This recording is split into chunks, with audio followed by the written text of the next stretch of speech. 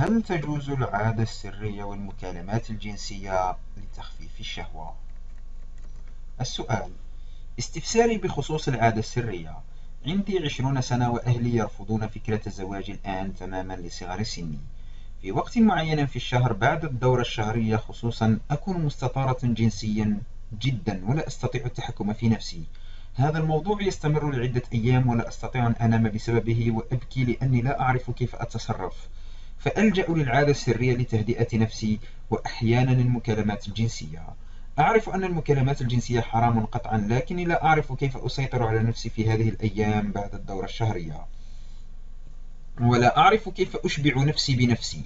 بممارسة العادة السرية والتخيلات فقط لا أعرف ماذا ينبغي أن أفعل لأنها أيام صعبة علي وأحاول أن أقاوم نفسي وأتحكم فيها. وهل ممارسة العادة في هذا الوقت للتخفيف عن نفسي بدون مكالمات حرام؟ الجواب. الحمد لله والصلاة والسلام على رسول الله وعلى آله وصحبه أما بعد.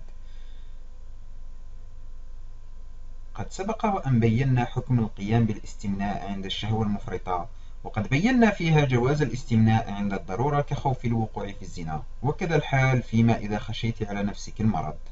قال ابن تيمية في الفتاوي الكبرى ونقلا عن طائفة من الصحابة والتابعين أنهم رخصوا فيه للضرورة مثل أن يخشى الزنا فلا يعصم منه إلا به ومثل أن يخاف إن لم يفعله أن يمرض وهذا قول أحمد وغيره. وأما بدون الضرورة فما علمت أحد فما علمت أحد رخص فيه. وهذا كله فيما يتعلق بالاستمناء. وأما المكالمات الجنسية فإنها لا تجوز بحال بل إن مجرد كلام المرأة مع رجل أجنبي عنها فيما يباح لا يجوز إلا لحاجة وبشرط أمن الفتنة. وعليك بالاجتهاد في شغل نفسك ووقتك بما ينفع واجتناب كل ما يمكن أن يثير الشهوة والإكثار من الصوم. ففي الصحيحين عن عبد الله بن مسعود أن رسول الله صلى الله عليه وسلم قال يا معشر الشباب من استطاع منكم الباءة فليتزوج.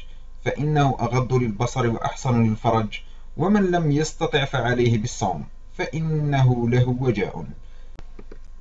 وحاولي أن تتحدثي مع والديك في أمر التعجيل بزواجك برفق ولين وتذكيرهما بأنك قد بلغت مبلغ النساء وأنك بحاجة ماسة للزواج ويمكنك أن تستعيني بمن له وجاهة عندهما ليحاول إقناعهما بذلك. والله أعلم.